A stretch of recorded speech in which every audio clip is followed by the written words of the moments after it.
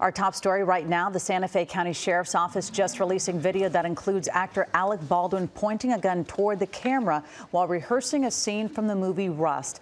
This as authorities in New Mexico are deciding whether to file criminal charges related to the death of cinematographer Halyna Hutchins. Eyewitness News reporter Rob McMillan is live with more on what we are now learning from the new camera footage. Rob? Well, the Santa Fe County Sheriff's Office made the announcement this morning, releasing several hours of police body cam video as well as witness interviews from that movie set shooting last year involving Alec Baldwin.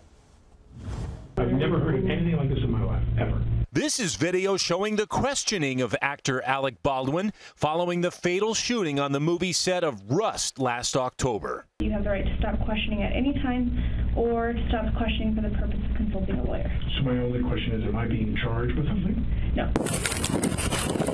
We're also getting our first look at some of the body cam video from deputies when they first arrived on scene. How's it going, sir? Um, so uh, my understanding, um, you, you, were in the room when the lady when someone was, shot. The gun, yeah. According to court records, Baldwin was handed a firearm by the film's assistant director Dave Halls, who said it was a cold gun, meaning it was filled with blanks. Instead, there were live rounds inside when Baldwin pulled the trigger inside this church on the set. Cinematographer Halyna Hutchins was killed. Rehearsal gun should be empty. Okay. And, and, and, and, as I said, for the two weeks I've been shooting, it has been empty. We haven't had one problem. And you have you physically checked that, or just by she announces to me that it's, that it's, that it's clean. Okay. So say cold gun, we rehearse. Baldwin then describes the moment of the shooting. When we came back after lunch, we rehearsed for the camera, and I took the gun. I really, I'm showing him. I'm going. I'm going to go like this, like this, like this. Cock and turn. Bang! It went off. The first time. Okay, so it was it was your. It was the very first time that we were shooting that shot, that we were rehearsing for that shot. Also released today, video from on the set showing Baldwin rehearsing some time before the shooting.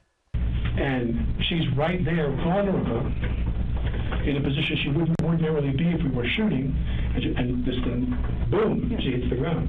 So whether someone accidentally and I can't even imagine this, deliberately placed a live round in that gun. Uh, I've never, never heard of it in my life.